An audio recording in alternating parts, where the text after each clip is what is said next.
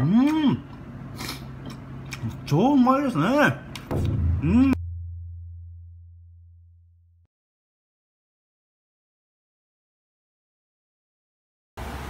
はい皆さんいかがお過ごしでしょうか、えー、今日はですねこちらあのー、スペアリブですね。スペアリブの、えー、旨辛煮を作りたいと思います。それですねこちらに下味をつけていきますね。まずお塩ですね。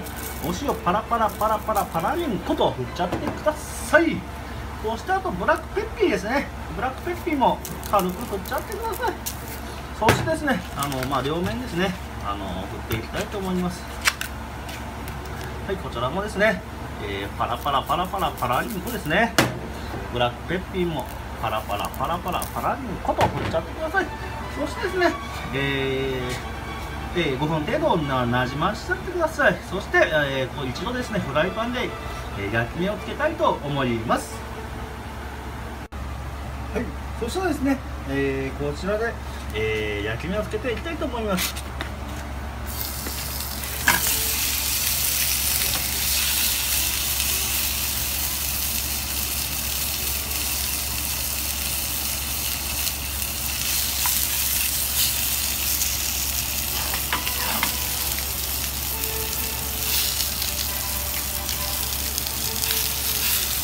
こんがりですね、あの、両面にあの焼き目をですねつけちゃってください。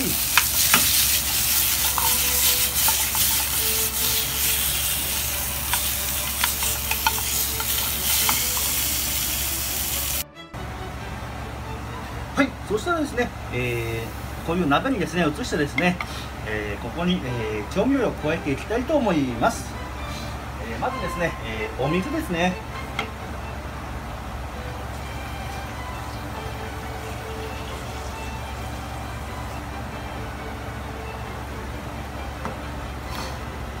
はい。えー、大体あのー、スペアリブはですね、あのー、使うか使わないぐらいまでお水を入れちゃってください。そこにですね、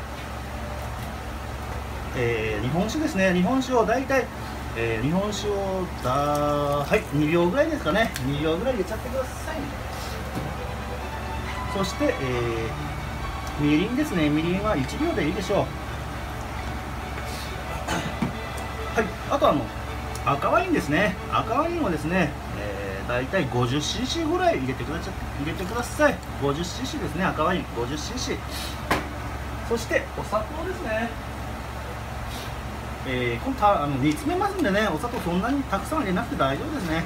大体あのスプーン大さじ1杯ぐらい入れちゃってください。はい、えー、これでですね、あのー、火をつけて煮込んでいきたいと思います。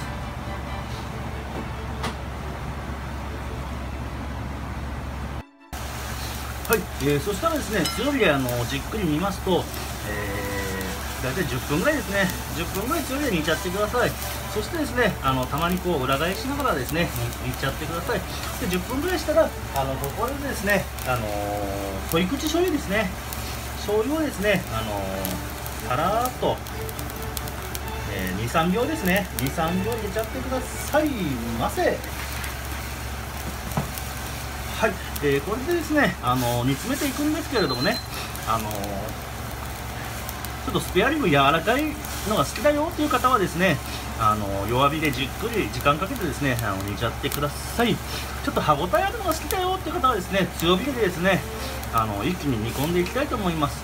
であとあの落とし蓋ですね、落とし蓋するとあのよろしいかと思われます。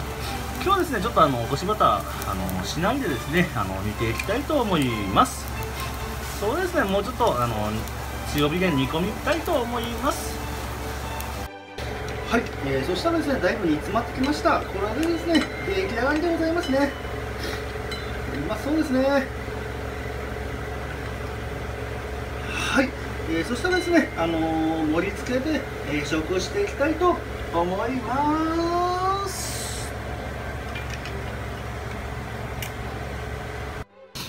はい、えー、それではですね、あのー、テーブルの方に来ました。そしたらうまそうですね。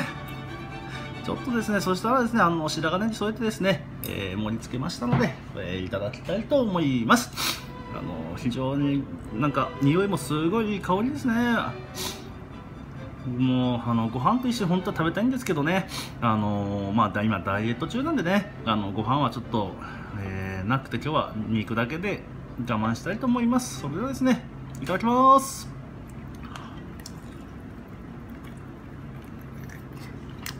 うん。超うまいですね。うん。こうなんといってもあのこの赤ワインのこの香りというこう味わいがですね非常にあの伝わってきてすごいうまいですね。あこれすごくご飯が欲しいですね。じゃあもうもう一口いってみましょう。あちょっとレモンかけかけ忘れちゃいましたね。ちょっとレモン絞ってですねいただきたいと思います。